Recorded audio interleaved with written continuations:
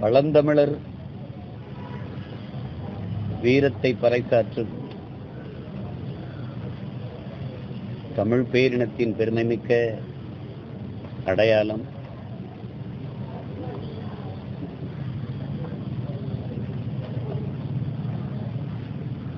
எங்களுடைய பாட்டனார் பெரும்பிடுகு முத்தரையர் அவர்களினுடைய ஆயிரத்தி முன்னூற்றி நாற்பத்தி எட்டாவது பிறந்த நாளில் பெரும்பாலும் தமிழர்கள் நினைவு தினத்தைத்தான் போற்றுவது மரபு. ஆனால் எங்களுடைய பாட்டனார்கள் பெரும்படுகு பூலித்தேவன் போன்ற எங்கள் முன்னோர்களுக்கு நினைவு தினம் எது அந்த மறைவு தினம் எது என்று எங்களுக்கு வரலாற்று குறிப்புகள் இல்லாதனால இந்த பிறந்த நாளை நாங்கள் போற்றுவதும் கொண்டாடுவோம் களம் கண்ட எல்லா இடங்களிலும் வெற்றி பெற்ற வீர மரவன் எங்களுடைய பாட்டனர். கொடும்பாலூர் மணலூர் திங்களூர் காந்தலூர் அழிந்தியூர் காரை மரங்கூர் புகழி அன்னவாயில் செம்பொன்மாரி வெண்கோடல் கண்ணனூர் இப்படி எல்லா இடங்கள்லையும் அவர் களங்கண்ட எல்லா இடங்களிலும் பகைவர்களை திணறடித்து புறங்கானா அறம் கண்ட புறநானூற்று மாபெரும் வீரன் எங்களுடைய பெரும்பாட்டனார் பெரும்பிடுகு முத்தரையிடவில்லை நச்சமில் புலவர்கள் புகழ்ந்து பாடிய நானிலம் வியக்கும் ஒரு பெரும் வீரன் புறநானூற்று பெரும் வீரன். அதில் களங்கண்ட இடத்திலெல்லாம் வஞ்சிப்பூ சூடி வால்போரில் வென்று வாகைப்பூ சூடிய கோமாரன். நஞ்சை கொளிக்கிற தஞ்சை மண்ணை ஆண்ட பல்லவ கோமான். அவருடைய புகழை போற்றுவதில் அவருடைய வழி வழியே வருகிற வீரத்தமிழ் பிள்ளைகளுக்கு பெருமையும் மகிழ்ச்சியும். எங்கள் பெருமை மிகு எங்களுடைய பாட்டனார் பெரும்படுவி முத்திரையருக்கு. அவர் பிள்ளைகள் நாங்கள் பெருமிதத்தோடும் திமிரோடும் எங்களுடைய புகழ் வணக்கத்தை செலுத்துகிறோம். வேற ஏதாவது கேள்வி இருக்கா? வந்து பத்து ரூபா பத்து ரூபா? வந்து என்னது? அனைத்து டாஸ்மார்க்ல வந்து விலையை விட கூடுதலா பத்து ரூபா வந்து வாங்குறாங்க அப்படின்னு சொல்லிட்டு ஒரு. அதுக்காக இப்போ பார்த்தீங்கன்னா தமிழ்நாட்டில் பெரும்பாலான குடிமகன்லாம் போயிட்டு இருக்கிற கேஷியர்ட்டே போயிட்டு பத்து ரூபா கேட்குறீங்களா அப்படின்னு சொல்லிட்டு அவங்க வீடியோ எடுத்து போட்டிருக்காரு போடுறாங்க அவர் பேர் சொன்னதுக்கு அப்புறம் கூட அந்த பத்து ரூபாய் திரும்ப கொடுக்குறாங்க. எல்லா இடத்துலையும் இப்படிதான் இருக்குது. இங்க மட்டும்தான் விலைக்கு அதிகமா இருக்குதா என்ன? எல்லா இடத்துலையும் கூடுதலா இருக்கு எல்லா இடத்துலையும் கூடுதலா இருக்குது. சரி இதுக்காவது சண்டை போடுறாங்களே. சிறந்த குடிமக்கள் என்பதை காட்டுறாங்க. அதுல இதுல என்ன சொல்றதுக்கு இருக்குதுல்ல அதை சிரிச்சுட்டு கடந்து போக வேண்டியது அந்த கொடுமையை நினைச்சு. சிரிச்சுட்டு கடந்து போக வேண்டியது இதுக்கு என்ன அமைச்சரை இது இது நீங்க இப்ப சொல்றீங்க. இல்ல இல்ல இப்ப- சொல்றீங்க இப்ப சொல்றீங்க. நான் ரெண்டாயிரத்தி பதினாறாம் ஆண்டு பதினாறாம் ஆண்டு தேர்தல்ல சின்னவெளியில வாக்கு அப்போ வெயில் நல்ல உச்சி வெயில் அல்ல மரங்கள் இடையில வீடுகள் திண்ணைகள் எல்லாம் கேட்டுருக்காங்க நான் மட்டும் இந்த இருந்து கேட்டேன்.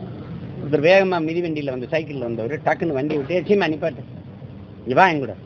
இந்த கடையில பத்து ரூபா கூட விட்டு அங்கே வாட்டு என்ன என்னன்னு கேள்வி அந்த காலத்துல இருந்து தெரிஞ்சுது. இதுக்கெல்லாம் செந்தில் பாலாஜி விலகுவார்னா விலகி இருக்கணும். விலகிறதுக்கான காரணங்கள் எவ்வளவோ இருக்க. கொடைநாடு கொலைக்கு ஐயா எடப்பாடி விலகி இருக்கணும்.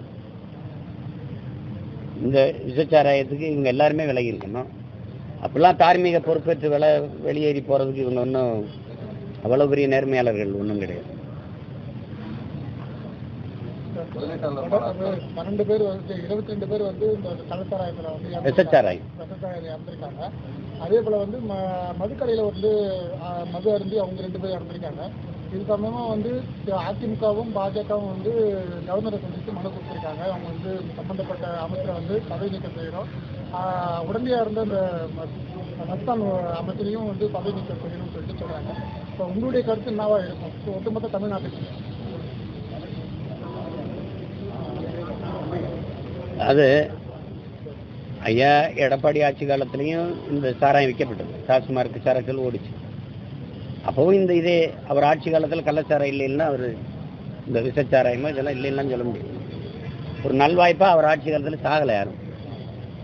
அதான் அதுக்கு வந்து இதை இதை பயன்படுத்திக்கிட்டு ஆளுநர்கிட்ட போய் ஆளுநருக்கு எதுக்கு நீங்கள் அவ்வளோ பெரிய அதிகாரத்தையும் கொடுத்து கோரிக்கை வைக்கிறீங்க?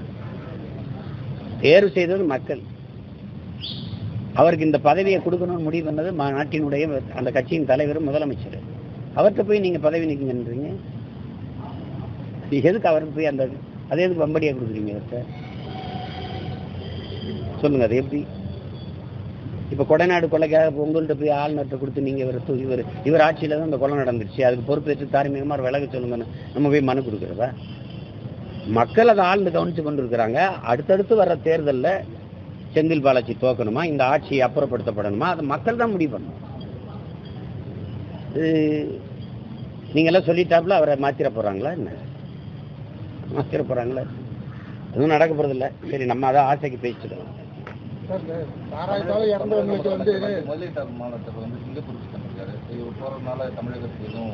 ஏற்கனவே போனதில் எவ்வளோ முதலீடு வந்திருக்கு?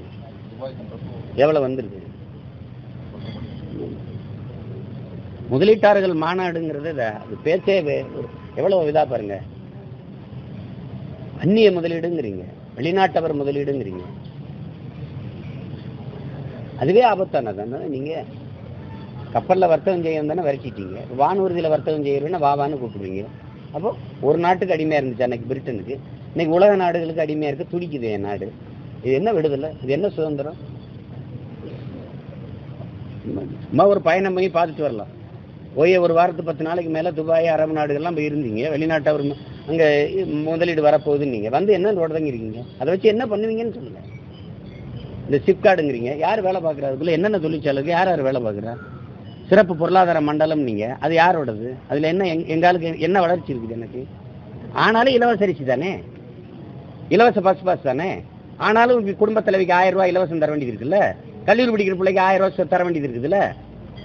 அப்போ எதுக்கு?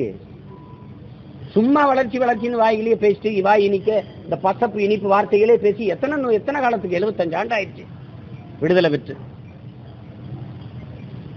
காரம் எங்களை வளர்ந்தது அல்ல. சும்மா ஏதோ பேசிட்டு இதை சொல்லிட்டு இருக்க வேண்டியதுதான் அது.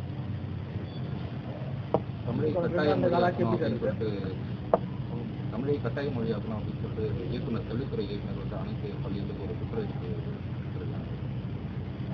அதே போல் புதுச்சேரியில் பார்த்தீங்கன்னா அனைத்து அரசு பள்ளிகளிலும் சிபிஎஸ்சி பாடத்திட்டத்தை வந்து இந்த ஆண்டு முதல் நடைமுறைக்கு கொண்டு அதான் அது வந்து நீங்க ஒவ்வொரு தேசிய இனங்களுக்கும் ஒரு வரலாறு இருக்குது. அவனுக்குன்னு ஒரு இலக்கியம் இருக்குது. அவனுக்குன்னு ஒரு அஹ், என்ன சொல்றது? எல்லாம் இருக்கு அவனுக்குன்னு ஒரு இது இருக்குது. அதை விட்டுட்டு அந்த கல்வி முறையை விட்டுட்டு அவனுக்கு வரலாறு என்பதே இந்திக்காரன் வரலாறு தான். நீங்க நீங்க சிபிஎஸ்சி பாடத்திட்டத்துல எங்க பாட்டனார் இது வாவுசியை பற்றியோ இல்லை எங்கள் பாட்டில் இப்போ இன்னைக்கு நம்ம போ- கொண்டிருக்கிறோம் பெரும்பிடுகை பற்றியோ எங்க பாட்டங்க பூலித்தேவனோ மருதுபாண்டியோ அல்லது எங்கள் பாட்டி வேலநாச்சியாரையோ தீரன் சின்னமலையோ அழகுமுத்துக்கோனையோ சுந்தரலிங்கனாரையோ எங்களுக்குன்னு ஒரு பெருமை இருக்குல்ல. எங்கள் இன முன்னோர்கள் இருக்காங்கல்ல அவங்கள பற்றி நீங்கள் படித்து வைப்பீங்களா வரலாறு வருமா? என் தாய்மொழியை படிக்க முடியுமா? இருக்கு இது எங்க இருக்கு? இது வரைக்கும் இல்லை சிபிஎஸ்சி பாடத்திட்டத்தில் இல்லை கேந்திர கேந்திர வித்தியாலயில இல்லை நவோதயால இல்லை இருக்குலாம் சொல்லிட்டு கூடாது. இல்ல. இனிமேல் கொண்டு வருவேன்றீங்க. இப்ப கட்டாயம்ங்கிறது எந்த நூற்றாண்டுல வந்து பேசுறீங்க? இவ்வளவு என்ன பண்ணீங்க? உங்களுக்கே தெரியுது தமிழ் இல்லைன்னு. ஐம்பதனாயிரம் மாணவர்கள் வந்து தமிழ்ல தேர்வு எழுத வரல பண்டாப்புல இந்திய மாநிலங்களிலே தாய்மொழியில் குறைவாக தேர்ச்சி பெற்ற மாநிலம் வந்து தமிழ்நாடு தான். ஆனால் நீங்க ஆகுன்னா தமிழ் தமிழ்னு பேசிக்கிறீங்க. தமிழை நாங்க தான் வாழ வச்சுன்னு பேசிக்கிறீங்க. தாய்மொழியில் கல்வி கற்காம ஒருத்தன் உயர்கல்வியை படிச்சு வேலைக்கு போயிட முடியும்னு ஒரு நிலையை உருவாக்கிட்டீங்க. யார் வேணாலும் வரலாம் இங்கே வேலைக்கு சேர்ந்துடலாம். அப்புறமா நீங்கள் படிச்சுக்கலாம்னு ஒரு க- ஒரு திட்டத்தை கொண்டு வந்திருக்கீங்க. தமிழ்நாடு தேர்வாணையத்தில் டிஎன்சிசியில் அப்படி கொண்டாந்து விட்டுட்டீங்க. இப்போ தான் கட்டாயமாக்குறீங்க. ஒரு தலைமுறையில் ரெண்டு மூணு தலைமுறை உருவாயிடுச்சு தாய்மொழி எழுத படிக்க தெரியாமல் பேச தெரியாமல் தாய்மொழியே பேசுறதில்ல. ஒரு வார்த்தை ஒரு வார்த்தை தமிழ் வந்தா அது இணைப்பு சொல்ல இருக்குது. அதாவது கன்ஜெக்ஷன் வேடும்பம்ல அப்படி இருக்குது. திஸ் ஃபில்மில் சாங்ஸு டான்ஸு ஃபைட்ஸு எல்லாம் ஃபெண்டாஸ்டிக் வந்திருக்கு. இதில் எது தமிழ் எது இங்கிலீஷு? இப்போ நான் பேசுனது புரியுதா? ரெண்டாம் மச்சான் ஃபீல் பண்ணுறவோ ஒரு டென்ஷன் ஆகுற? எல்லாம் கரெக்ட் ஆயிரும்டா. இதில் எது தமிழ் இங்கிலீஷு? வாடா மச்சான் டீ சாப்பிடுவோம். டிஃபன் சாப்பிட்டு அப்படி டீ சாப்பிட்டு அப்படி வாக்கிங் போயிட்டு என்னது இது? நாசம் பண்ணிட்டீங்க. அழிச்சு முடிச்சு விட்டுட்டீங்க நீங்க. சும்மா இதை ஏமாத்தி எங்களுக்கு இருக்கிற மொழி பற்று இனப்பற்ற வச்சுக்கிட்டு அப்படி குளிர் அஞ்சுக்கிட்டு இருக்கு இப்ப அதுவும் இல்லை. ஆகுனா திராவிடம் திராவிட மாடல். திராவிட நிலப்பரப்பிலிருந்தே பாரதிய ஜனதாவை தூக்கி வீசிட்டோங்கிறாரு தமிழ்நாட்டின் முதலமைச்சர் ஐயா ஸ்டாலின். அதை கர்நாடக முதலமைச்சர்ல சொல்லணும். அதை கேரள முதலமைச்சர் ஆந்திர முதலமைச்சர் ஒரு தடவை சொல்லட்டும். ஓ இதெல்லாம் திராவிட நிலப்பரப்பு இருக்குன்னு நாங்கள் நம்புறோம். அது ஏன் இங்க இருந்துகிட்டு மட்டும் திராவிடம் திராவிடம் அப்படின்னு ஏன்? இத்தனை பேர் நிலப்பரப்புல இவங்க மட்டும் குதிக்கிறாங்க அந்த மாநிலத்தில் தான் சொல்லலை. நாங்க திராவிட நிலப்பரப்புல இருந்து தூக்கி வீசிட்டோன்ட்டு.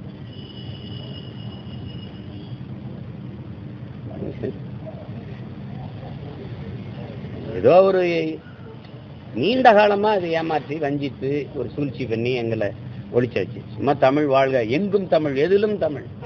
தமிழன் என்று சொல்லடா தலை நிமிர்ந்து நில்லடா. எதுவும் இவங்க சொல்லல. எல்லாம் எங்க பாட்ட நாமக்கல் கவிஞரும் எங்க ஆளு சொன்னது எல்லாம். அது அதை இவங்க அந்த முழக்கத்தை பின்பற்றிட்டு அப்படியே சொல்லிட்டு வீழ்வது நாமாக இருந்தாலும் வாழ்வது தமிழாக இருக்கட்டும். தலைகளாக மாறிடுச்சு. வீழ்வது தமிழாக இருந்தாலும் வாழ்வது நாமாக இருக்கட்டும் மாத்திட்டாங்க. எங்க இருக்கு தமிழ்? எங்க தமிழ் வாழுது? தமிழ் வாழ்கன்னு மாநகராட்சி கட்டடத்தில் எழுதி வச்சா தமிழ் வாழ்ந்துருமா? உள்ள கோப்புகள்ல பைல்ல உள்ள கோப்புகளில் கோப்புகள்ல தமிழ் இருக்கா? விண்ணூர்தியில் ஏறி பறக்குறாங்கல்ல. ஹிந்தி இங்கிலீஷ் பெங்காலி குஜராத்திங்கிறான. ஏன் என் மொழி மட்டும் வர மாட்டேங்குது? அதே மாநில மொழியிலாம் நீ சொல்லுவ. என் மாநில மொழியில சொல்ல மாட்டேன் சரி தெரியல. அவளுக்கு தெரியல. தெரியல ரெண்டு பேரும் வேலைக்கு எடுத்துட்டு போக வேண்டியது என்ன? ஏதோ ஒண்ணு நடக்குது. கொஞ்ச நாளைக்கு இந்த கொடுமை போகும். அப்புறம் பார்ப்போம்.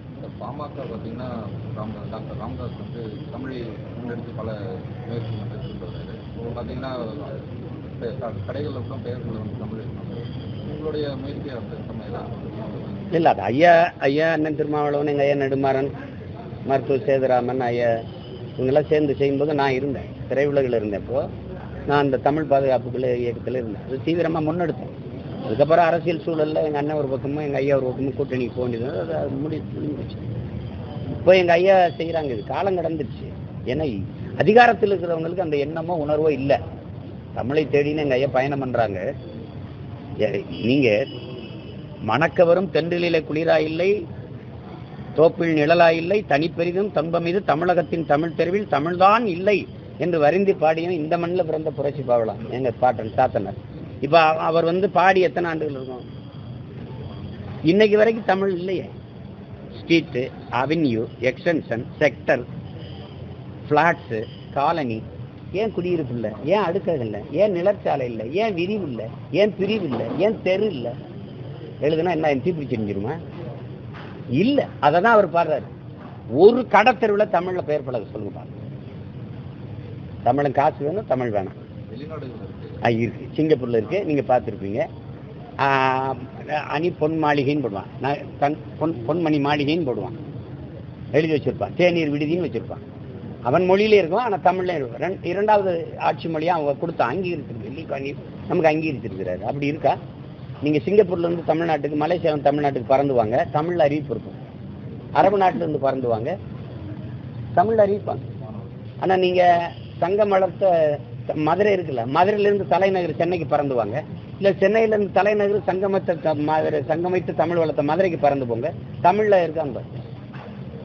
ஒரே ஒரு வானூர்தி ஓட்டி ஒரு தமிழன் நான் அண்ணன் பயணிக்கிறேன்னு அவன் தெரிஞ்சுட்டு அவன் எங்காலும் ஓட்டுனதுனால அஹ், பயணம் செய்கிற அன்பு உறவுகளுக்கு வணக்கம். நாம் மதுரையை நோக்கி சென்று கொண்டிருக்கிறோம். விரைவில் தரையிறங்க இருக்கிறோம். அப்படின்னா அவ அவ பேசி அங்கே ஓ ஓ- ஓட்டுநர் சொல்ற ஓட்டி சொல்றார். அவர் சொல்லிட்டு அவர் சொன்ன உடனே மொத்த பயணிகளும் கைத்தட்டினாங்க உள்ளுக்குள்ள உணர்வு இருக்கு. ஒரு காலத்துல எனக்கு அதிகாரம் வந்துருச்சுன்னா நீ தமிழ் அறிவிக்காம பறந்துருவே நீ? அறுபது பேர் பயணிக்கிற இடத்துல அறுபது பேரும் ஏழை ஏறி உட்காந்துக்குருவான் நீ எடுத்துரு வண்டியேன்பா அந்த அதுக்கு ஆட்டம் காட்ட ஆள் இல்லாதனால எங்களை ஆட்டம் காட்டிட்டு இருக்கீங்க எல்லாரும். அதாவது ஐயா செய்யறாங்க அது எண்பது வயசுக்கு மேலாகி இந்த உணர்வோடு அவர் இருக்கிறத பாராட்டணும் கொண்டாடணும். வழி வழியே வருகிற தமிழ் பிள்ளைகள் அந்த உணர்வை பெற்று இனிமேலாவது தூய தமிழ் பெயரை சூட்டிக் கொள்வதற்கு பிறமொழி களவாமல் பேசுறதுக்கு பழகணும். மற்றவர்கள் எப்படி இருந்தாலும் என்ன நான் தமிழில் பேர் வைப்பேன் நான் என் தாய்மொழியை பேசுவேன். நான் பேசாமல் வேற யார் பேசுவா? கண்ணாடிக்கு முன்னாடி ஒரு தடவை பேசுகிறேன் என் தாய்மொழியை நான் பேசாமல் வேற யார் பேசுவா? இன்னும் முதலெழுத்தே ஆங்கிலத்துல போடுற ஒரு கொடுமை இருக்கே. முனியாண்டி மக நாகராசன் மூ நாகராசன் தான் பொண்ணு எதுக்கு எம் நாகராசன் போடுற? எம்னு ஏன் போடுற? உங்க அப்பா வெள்ளைக்காரனா? எந்தாவது வெள்ளைக்காரன் தமிழ்ல முதல் எழுத்து அப்பா பேரை போட்டு அப்புறம் ஆங்கிலத்தில் எழுதுவானா? ரெண்டு மொழியில கையெழுத்துடுறீங்கன்னா நம்ம தானே வேற ஏன் போடுறான்? எதுக்கு போடணும்? எதுக்கு போடணும்? ராமசாமி ஆறு எதுக்கு போடணும்? இரான்னு போட்டு போண்டி தானே? அத சொன்னாங்க. ஆட்சிக்கு வந்த உடனே தமிழில் தமிழ்ல எழுதுங்க முதல் எழுத்துன்னு ஐயா கே. கே. சார் சார் மாத்திட்டாரா? கே. கே. சார் மாற்றிட்டாரா சொல்லுங்க மற்றவங்களாம் மாத்திட்டாங்களா? கே. நேர் ஐயா மாத்திட்டாங்களா? அப்படிதானே இருக்கு. முன்னவர்கள் தானே பின்னவர்களுக்கு வழிகாட்டணும். அது இல்லையே. வேற. தமிழ்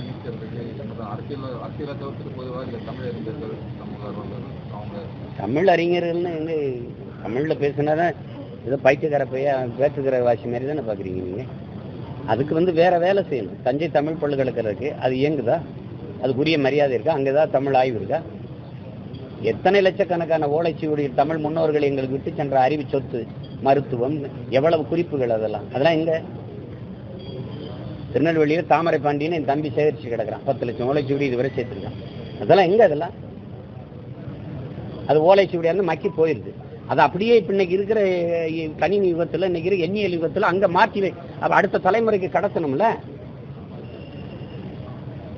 யோசிச்சு பாருங்க நீங்க. திருக்குறள் ஓலைச்சுவடியில் எழுதி வைக்கப்பட்டிருக்கு திருக்குறள்.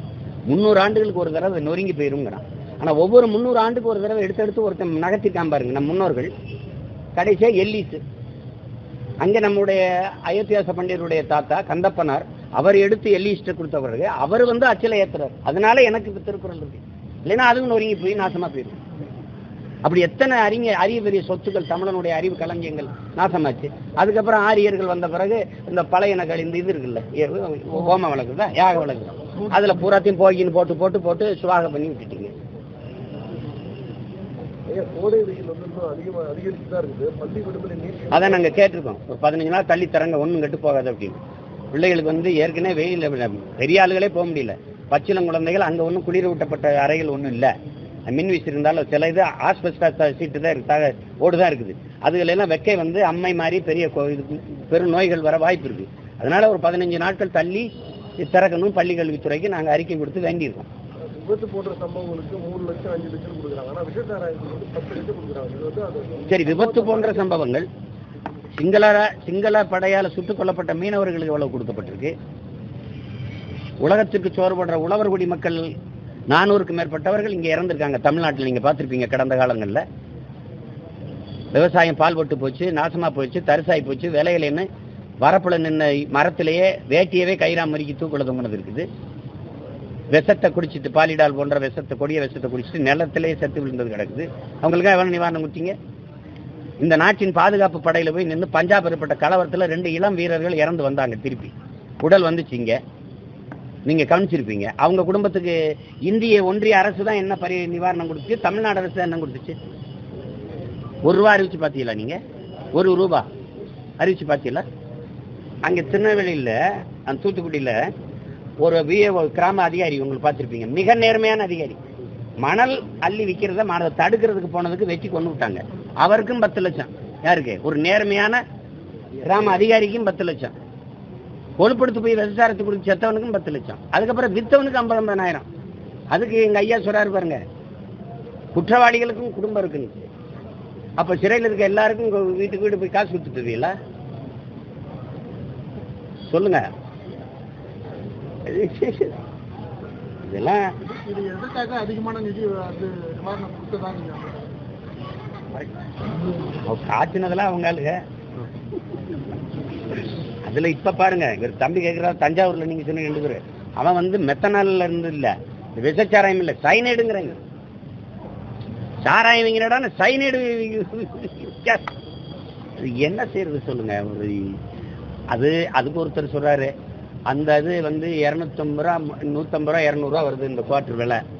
இது வந்து ஐம்பது ரூபா நூறுரூவாய்க்கு வருது. ஐம்பது ரூபா காசு நூறுரூவா காசு அந்த வித்தியாசத்துக்கு இதை குடிச்சிடுறாங்க. அது இப்போலாம் வந்து யாரும் வாழ்ந்து என்னத்தை பயன் இருக்கு நம்ம சாபம்னு யாரும் விஷம் குடிக்க வேணாம் பால் டால் குடிக்க வேணாம் எலிமருந்து சாப்பிட வேணாம். விஷச்சாராயம் எங்கேயாவது விற்கிதான்னு பார்த்து குடிச்சு செத்தா வீட்டுக்கு பத்து லட்சம் வருது. அதை கவனத்தில் வச்சுக்கிட்டு சாகிறது நான் எத்தனை சாராயம் குடிச்சு சாமி அது என்னுடைய அன்பான வேண்டும் பத்து லட்சமாவது கிடைக்குது இல்லை அது ஒரு மீன்ஸ் பார்த்தேன். என் தம்பி சந்தானம் சந்தானம் என் தம்பி தம்பி உதயநிதிக்கு பேசுறாரு. மச்சான் ஒரு அஞ்சு லட்ச ரூபா கடன் கிடைக்குமாடா? அதெல்லாம் தெரியாது. நீ எங்க பக்கத்துல சாராய கிடந்தா குடிச்சு செத்துப்போ அப்பா பத்து லட்சம் தருவாரு அப்படின்னா அது அந்த மாதிரி. இப்ப அன்னைக்கு ஒரு இது பார்த்தேன் ஒரு ஒரு செய்தி. எப்படின்னா அஹ், விஷச்சாராயம் குடித்தவர் உயிர் பிழைத்துக் கொண்டதால் குடும்பமே சோகத்தில் மூழ்கியது. ஐயோ இந்த ஆள் பொழைச்சு பத்து லட்சத்துக்கு எடுத்துட்டானுங்கிற இந்த மாதிரி ஆயிடுச்சு. இந்த வங்கியில் இன்று முதல் ரெண்டாயிரம் ரூபாய் மட்டும் மாற்றிக்கலாம் ஆனால் பெரும்பாலான வங்கிகள் வந்து யாருமே ஆர்வம் காட்டல. பார்த்தீங்கன்னா ஒருவேளை ரெண்டாயிரம் பொழுது இல்லையா இல்லை மக்கள்கிட்ட பார்க்க ரெண்டாயிரம் இல்லையா இல்ல. நான் முதல்ல சொன்னேன் நீங்க யாரும் நம்பல. பைத்தியக்காரர்கள்ட்ட நாடு மக்களும் சிக்கிக்கிட்ட மக்கள் எதுக்காக ரெண்டாயிரம் நோட்டு கொண்டு? ஆயிரம் ரூபாய் நோட்டு செல்லாது. ரெண்டாயிரம் நோட்டு கொண்டு வந்தீங்க. அது அச்சடிக்க மட்டுமே ஐயாயிரம் கோடிக்கு மேல செலவு பண்ணதா சொல்றாங்க. சொல்றாங்க அது எவ்வளவு கூட கூட ஆயிருக்கலாம். இப்போ இந்த ரெண்டாயிரம் நோட்டை ஏன் திரும்ப பெறுறீங்க? இப்போவும் செல்லாதீங்க. நீங்கள் சொன்னது வந்து ஊழல் ஒழிஞ்சிரும் லஞ்சம் ஒழிஞ்சிரும் தீவிரவாதம் ஒழிஞ்சு பயங்கரவாதம் இது மூணும் ஒழிஞ்சிட்டு ரெண்டாயிரம் நோட்டு நீங்கள் கொண்டு வந்த பிறகுதான் ஆயிரம் ரூபாய் செல்லாதுன்னு கொண்டது பிறகுதான் புல்வாமா மாவட்டத்தில் காஷ்மீரில் தாக்குதல் நடந்தது. அங்கே அதுவும் பயங்கரவாதம் இப்போ நீங்களே என்னையே கொள்ள முயற்சி நடக்குதுன்னு அப்போ இன்னும் பயங்கரவாதி திடீர்னு பயங்கரவாதிகள் ஊடுருவிட்டாங்க இன்னும் ஒளியலைன்னு அர்த்தம். ஊழல் லஞ்சம் ஒழியலை அப்படிதானே சொல் அப்படிதானே சொல்றீங்க? அப்ப நீங்க இந்த ரெண்டாயிரம் ரூபாய் நோட்டை ஏன் கொண்டு வந்தீங்க? ஏன் திரும்ப பெறீங்க? எங்களை எல்லாம் பைத்தியக்காரங்க மாதிரி தெரியுது அவங்களுக்கு நாட்டை மக்களையும் நீங்க என்னவா கருதி நீங்க ஆட்சி செய்றீங்க? இப்ப திடீர்னு அது செப்டம்பர்ல இருந்து அது செல்லாதுன்றீங்க. யாருமே வாங்கல. இப்ப வச்சிருக்கிற காசு என்ன பண்றது? வங்கியில போய் மாத்தினா இருபதாயிரம் இருபதாயிரமா மாத்தணும்னா எத்தனை நாளைக்கு மாத்துறது? இதெல்லாங்க இதுதான் கொடுங்கொன்மைங்கிறது. இதை நீங்க என்கிட்ட கேட்கக்கூடாது. மக்கள் வந்து விழிப்புணர்வு அடைஞ்சு இந்த ஆட்சி முறையை தூக்கி வீசணும். கொடுமைங்க இதெல்லாம் என் பங்காளி சொல்ற மாதிரி ரொம்ப நேரமா நல்லவே மாறி பேசியிருந்தானப்பா. அட பைத்தியக்காரனாவே. அதே தான் இவர்கள். இது ஒரு பைத்தியக்காரத்தனமா இல்லையா சொல்லுங்க. நீங்க எதுக்கு கொண்டு வந்தீங்க? இப்ப அந்த ரெண்டாயிரம் நோட்டு ஏன் திரும்ப பெறீங்கன்னா ஏன் இப்ப ஆயிரம் ரூபாய் நோட்டு? இப்ப ஐநூறு ரூபாய் நோட்டை வச்சு அது ஒண்ணுதான் புழக்கத்தில் இருக்கு. இப்ப திருப்பி ஆயிரம் ரூபாய் நோட்டு வருமா வராதா? வராதா? ஆ, அவங்களுக்கு வசதி என்னன்னா வா- ஐநூறு ரூபாய் இருந்தா ஒரே நோட்டா டக்குன்னு ஓட்டு கொடுத்து கொடுத்துட்டு போயிடலாம். அதான்? அதான் வசதி. வாக்குக்கு ஐநூறு ஐநூறுரூவா கொடுத்துட்டு போயிடலாம். ரெண்டாயிரம் வந்தா மாத்த கஷ்டமா இருக்கு. இதெல்லாம் வேலை இல்லாத வேலைங்க. எங்க ஊர்ல சொல்லுவான் வேலை இல்லாத தையல் கடைக்காரர் ட்ரெய்லர் யானைக்கு தவசர் தைச்சான்ட்டு அதனால வேலை இல்லாத இவர் யானைக்கு தவசர் தைச்சு பழகிட்டு இருக்காரு. வேற என்ன சொல்ல